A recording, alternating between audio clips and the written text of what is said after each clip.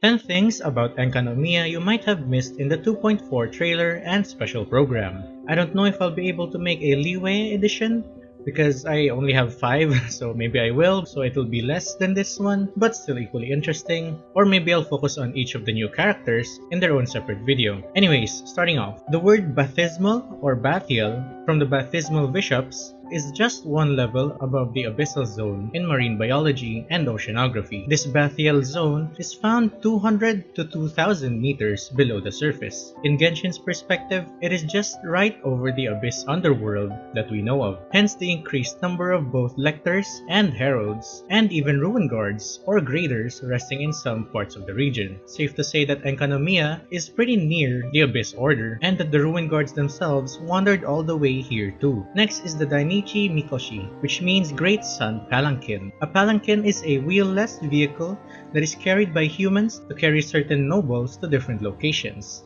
This is also known as a portable Shinto shrine, and this palanquin, specifically, is for a certain sun god that provides light to Enkanomiya, probably an ode to the story of the sun god Amaterasu who was brought out of hiding by the lesser gods. At number 3, comparing the story of Amaterasu Ento Enkanomiya, however, is taken from the book named The Serpent Drake of Tokoyo no Kuni. It's a dark tale of a jealous sunchild that overthrew a sage who brought the great light into the kingdom. This great light was only possible because of the great sage named Abe Yoshihisa. The first sunchild was jealous of his talent and wanted him imprisoned for his whole life. This all happened before the real threat was ever disposed of, which was the deep sea dragon heir. So after the imprisonment of Abe Yoshihisa, the Sun Child and his stolen light was able to keep the dragon heir away from their kingdom until they found the Orobaxi, who became their now Watatsumi god. At number 4, going back to the Great Sun Palanquin, we the travelers can actually cycle between day and night cycles after completing a quest. Much like a light switch in a room,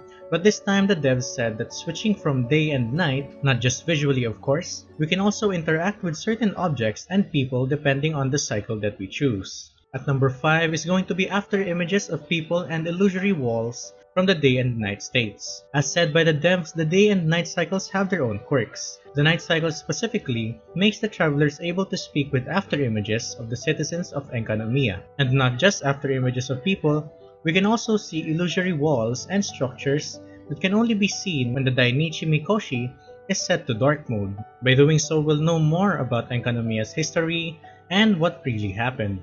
At number 6 are the islands of Enkanomiya itself. If we base our knowledge of Enkanomiya to the book named The Serpent Drake of Tokoyo no Kuni, we can theorize that Enkanomiya had three main islands. The book states that the Sun Child dove beyond what they called the Three Corners and found a cavern where the Orobaxi was said to live. These three corners are probably what the Dainichi Mikoshi's light can reach the furthest, and this is probably where the people of Enkanomiya draw the line between their land and the land of the Dragon Heir, as well as everything else in the Abyss. At number 7 is that there are no statues of the Seven. The land of Enkanomiya, much like the land of Khaenri'ah, did not have a god to worship long ago, which means that the people of this country only relied on their own power as humans, therefore used their own technology and power as humans to create their own ways of defense. And one of their greatest feats was created even before they found a god to worship. This god did not come until the Sun Child went out to venture into the abyss and somewhere outside the three islands that they had, he found Orobaxi. At number 8 is the Evernight Temple. One of the locations mentioned in the special program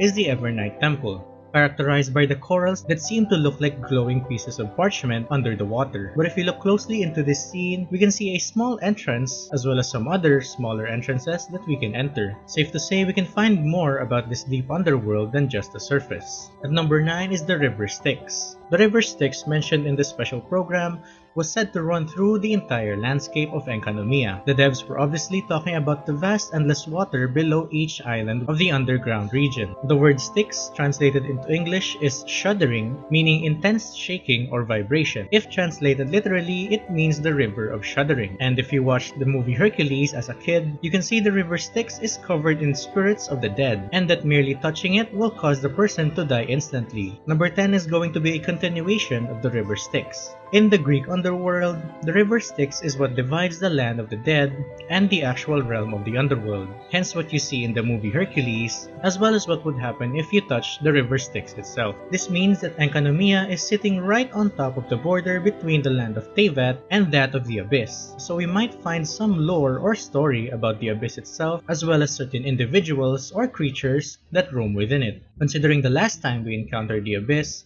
we saw our friend Dainsleif go into some portal along with her sibling. Other than that, we can also inhale some copium and find the swordswoman named Skirk, the person who taught Ajax, or Childe, how to fight in the Abyss.